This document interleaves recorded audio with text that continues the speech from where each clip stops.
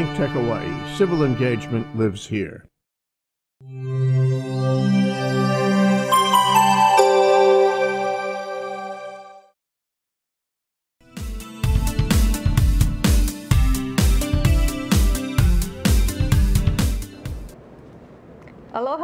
Welcome to Adventures in Small Business, a collaborative, effort by the U.S. Small Business Administration, the SBDC Small Business Development Center of Hawaii, VBOC of the Pacific, Veterans Business Outreach Center, and the Patsy T. Mink Center for Business and Leadership, all great partners.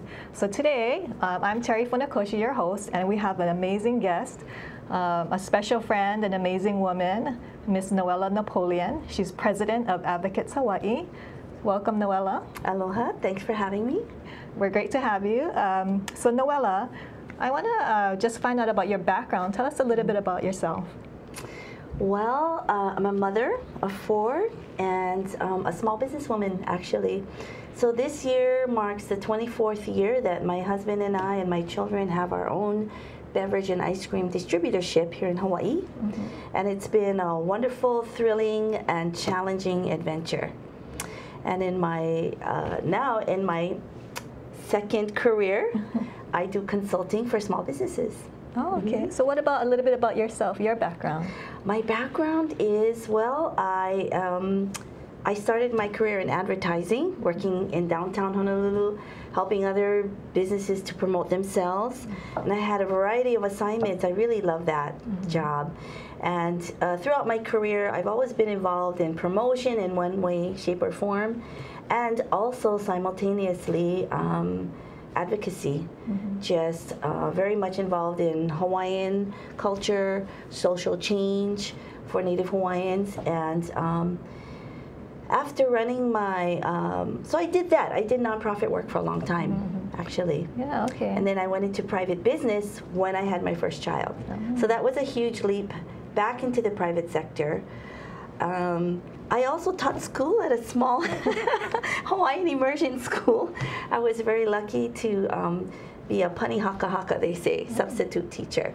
So I got to teach little children all the way to high schoolers bilingually. Mm-hmm. And uh, yeah, so now I've put it all together and I've decided to, you know, help adults. Oh, yeah. Okay, well, well, let's talk business. I know okay. um, you have a successful business uh, with you and your husband, mm-hmm. but I know now you're including the family. You want to talk about that? Oh, yes. So when my husband and I started off, we didn't expect to start a business. Mm-hmm. It was just sort of the opportunity arose. I was about to have a child. Um, and so we had a chance to buy out another company, a beverage company. Mm-hmm. And um, I had nothing better to do. I was on maternity leave. so I thought, well, okay. Hesitantly, we launched out. We started a home based business mm-hmm. distributing um, beverage products to small little mom and pop stores. And then uh, things grew. We started taking on different lines of products. Then people came after us looking for distributors in Hawaii. Then we went into coffees, teas, ice creams. Um, you know, a few years later, we looked back and we had a business mm-hmm. without really having much formal business education. Mm-hmm. And so it was it was a wild ride, but here we are 24 years later. In the first 3 years of business, we were just growing, you know, by leaps and bounds. And we were nominated for one of those fastest 50 awards. Awesome. Um, by First Hawaiian Bank, Price Waterhouse Coopers, and Pacific Business News. So it was great, you know, and it's been a struggle and a thrilling challenge at the same time. Right. And yeah. so now, like you said, 22 years later, you're bringing your fa- years oh, 24. Later, yeah. You're bringing your family into it, especially your boys. How's yes. that going? Oh, it's great. Mm-hmm. Yeah. When we shot our first TV commercial, mm-hmm. they were babies. Mm-hmm. They were in our first um, real commercial on TV, and they were just little ones, and everyone had a role to play my nieces and nephews and now they're actually helping us to run our company. Great. So my one son, my oldest son, Aiku A, he's the manager of catering, mm-hmm. and my other son, Kekahu, he is the manager of our social media and our sales, and and so now we're all working together. It's it's really awesome. Great. Yeah, I love it. So I know that you have all your family support in, at home and in the business. Yeah. And so that allows you to also be a business Yes. instructor and a counselor. So you want to tell us about that, that part of your job? Yeah, so it's interesting because when I was 10 years into my business, um, of course, I had a lot of friends and family. This is Hawaii, right? We people come to you, so they would come to me for help on how to start a business, how to register their business, a lot of little things. And so 10 years ago, I thought, well, maybe I can be a consultant and do this for a living, you know, side job. But, you know, as soon as I tried to set out and do it, then of course, you know, nobody was interested. So I just threw it to the universe and I thought, well, you know, I'm not ready. And um, I have to say, uh, it did take a lot of seasoning, I guess. You know, even when you're 10 years into your business, that's sort of just getting the engines revved up, honestly, now that I look in hindsight. Yeah. So when I was heading for 50 and my baby was ready to graduate, I told my husband, you know what? Now I'm going to try again. So I started improving my resume and bringing it, that up to speed. And I just threw it out and I was looking for an opportunity to help others, you know, launch their business. Lo and behold, I found um, the Patsy Mink Center. You know, we found each other, I should say. And it was amazing. I didn't even know this was a thing. they hired me. The Patsy Mink Center hired me. And so I started my career. I, my company's name is Advocates Hawaii. And this is this is my second life career, my encore career, so to speak. And um, so I still run my company with my husband. I'm still in business. Uh, but now I get to do what I love. So this is a me time job.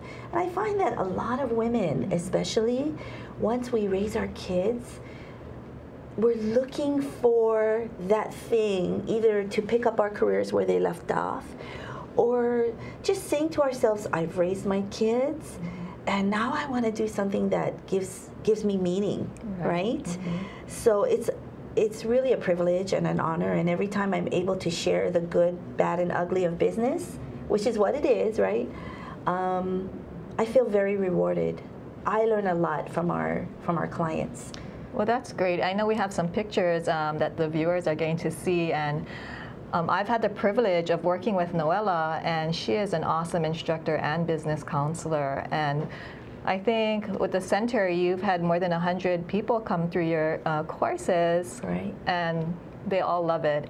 And there's so many success stories out there from you know the, the people that you've taught.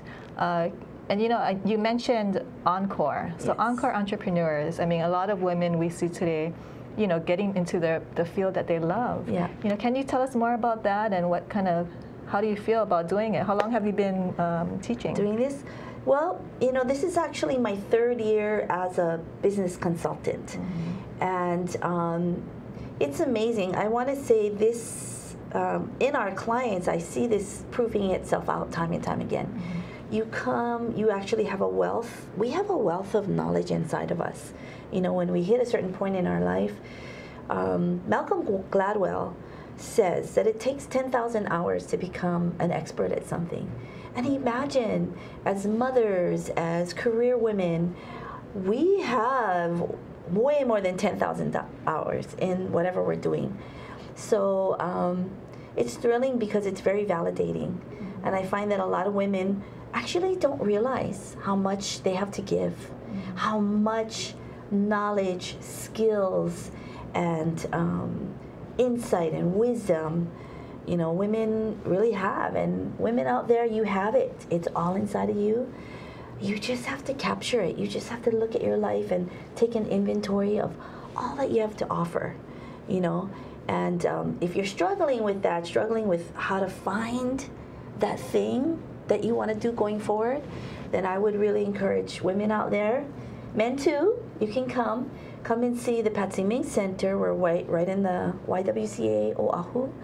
Come and let us work with you. Let us help you bring those good things out because i'm finding it to be thrilling mm-hmm. myself Yeah, I know you mentioned the Patsy T Mink Center, and they kind of found you. You didn't even know about it. Yeah. You know, and I, I find that a lot of people don't know about the center. Can you tell us a little bit about the center and how it differs? Uh, Sure. So, um, back when I was starting my business, we, uh, of course, there was no internet, right? you literally had to walk from state agency to state agency in the city uh, to fill out all your paperwork and become compliant. Well, um, that all by itself was kind of an eliminator because you had to really have a lot of gumption. There's a word to get out there and um, find the resources. There was no internet. I can't even imagine. I don't even know how I found them all, right? You looked in the phone book, is what you did, Yellow Right. Pages. And so you went around finding the resources. And um, so, you know, flash to today, now we are easy to find. Back then, writing a business plan was very laborious. Now there's software for that and there's online subscriptions. You can just easily write a business plan. So the difference I'd say just in the global perspective is that uh, services are easier to find. Now, the Women's Business Center, we are, the Patsy Mink Center is the wis- Women's Business Center of the U.S. Small Business Administration. And it's been around for a long time, right? It's been around for over 30 years. However, again, awareness, yeah? In its current version, now that, oh, five years? Five years. Patsy Mink Center, it is, it is just zoomed right into the future. It is current, it is on point. The Patsy Mink Center, because it's so well networked, um, we are becoming better known. And so um, that's the difference. The difference is now it's more than just here, here's how to write a business plan or register your business. We now understand as women, and I think the SBA is is so fabulous in doing this now. We just help people with the whole picture. Okay. Yeah. Well, that's great. Um, I know the Mink Center does so much good work, so uh, we're going to come back to that. So right now, I'm Terri Funakoshi from Small uh, Adventures in Small Business, and we're going to take a break, and we'll be back in one minute. Thank you.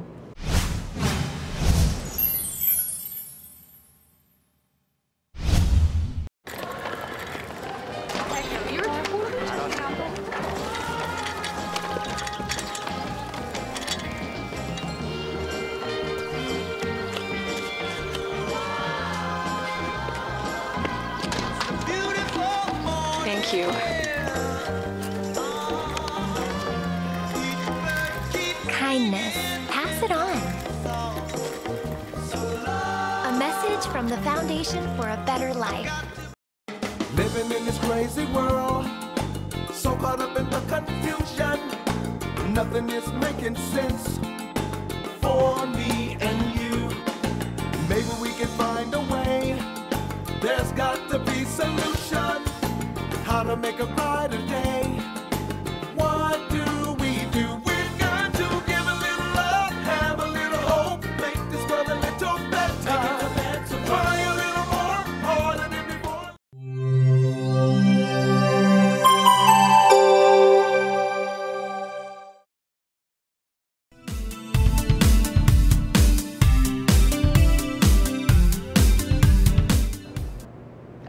Aloha. Welcome back to Adventures in Small Business. I'm talking with Noela Napoleon.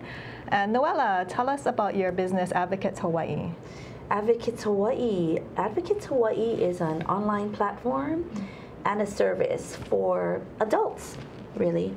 My interest is in supporting adults through lifelong learning. And um, so I'm creating this online resource for adults who need to access services um, for education, self development, you know, professional development, or self improvement, and also for advocacy. So I'll just break that down. Education because Hawaii is rich, rich with resources. Um, all the community colleges and all of these educational resources that are off the map that are very low cost or very affordable. And I really want people to know this because so often after high school, all the supports drop away, right? We need resources to help us as adults. So education is is big for me and I believe it is for others looking to get that better paying job or fix a problem, you know, fix an issue in their our lives. So that's education. And if you go on to my website, um, www.advocateshawaii.com, you can find hopefully some educational resources for you. Also, self-development. For example, the Patsy Mink Center, we have the has the Leadership Alliance, right? Business courses. Who knew? Go onto my website, and we're there too. All these things for professional and personal improvement. And then finally, advocacy because um, you know we can't always improve every single problem out there we want to as women right but what we can do is learn how to advocate for those areas of social change that we're interested in that we can have a direct impact. For example our theme for this year uh, i have three themes that we're supporting. One is um, child sex abuse to try to educate people through um, one of our clients, Elizabeth um, Lynn, yeah, to help people to understand the dynamics of that. Also, violence prevention to help people to not go that extra step and hurt someone or kill someone. That's very important in Hawaii. Yeah, it's important everywhere. Um, so that's one of our themes. And the third, probably the biggest for me, is bullying it's school school place bullying. So I've created this wonderful um, PowerPoint. It's on our website www.advocateshawaii.com, and you can go on there and pull down this PowerPoint. Look at it, learn. It's full of the laws regarding bullying, the dynamics of bullying, and you can share it with your friends. It's designed to share.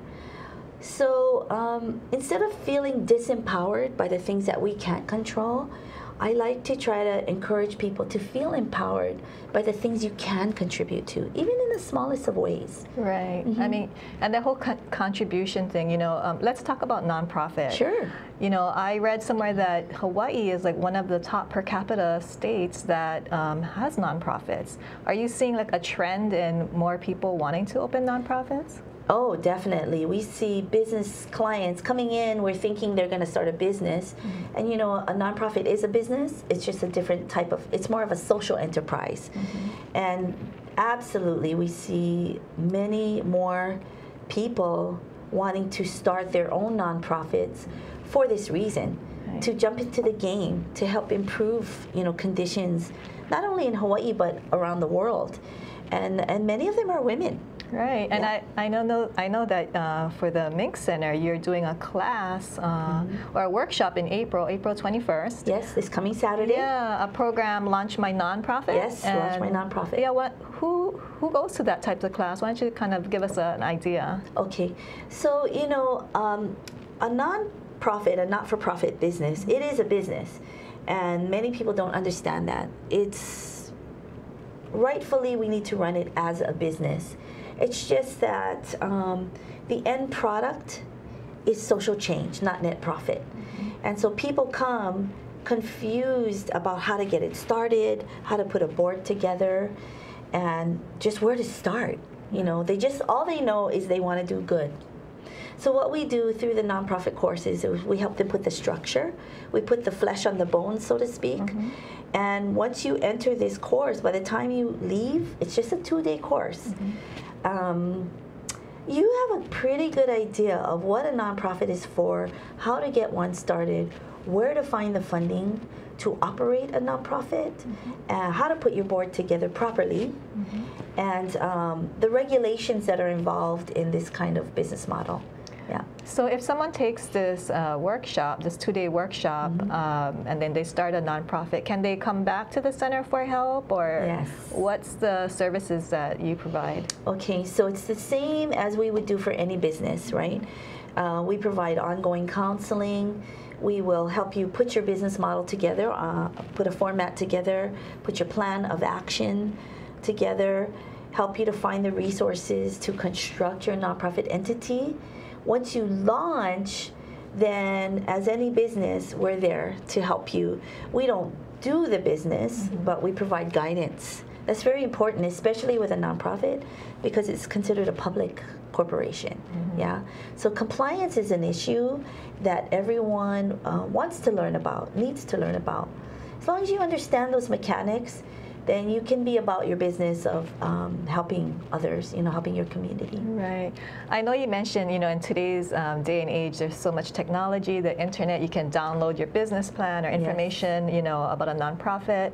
But um, I'm wondering, you know, do people with all that access, do they still come in, you know, and, and need help with that? Because Ah. Yes. I, I, I see it's very uh, confusing online Yes. sometimes. You know, that is the fascinating uh, phenomenon. So, in these, this age of technology, it's amazing to me um, that we still, as human beings, we crave that warm touch. We crave it. You know, even the young ones. You know, um, the poor millennials, they always get picked on, right, for this or that. I want to say that to all you millennials out there, we applaud you. You know, they're out there, they're doing it. They're trying to change the world, be better people, be more humanitarian. This generation is phenomenal. And they're actually not, you know, the stereotype, all technology. No, I find it to be the opposite. Um, our millennials and people of our age and older, we're all interested in having technology and using it, but we want that personal touch. We want both you know so we're finding in our classes in our one-on-one counseling that it's the two. It's technology but you need the wisdom of another human being to guide you through it and to give you all the nuances yeah? It's not just one or the other it, it's both. I, I think that's what we're finding Yeah, great. Yeah, I that's what I heard. That you know, it's a nurturing center, and super nurturing. you get everything. And so I'm hearing that there's a continuation. They can come back and you know continue their learning or Yes. help.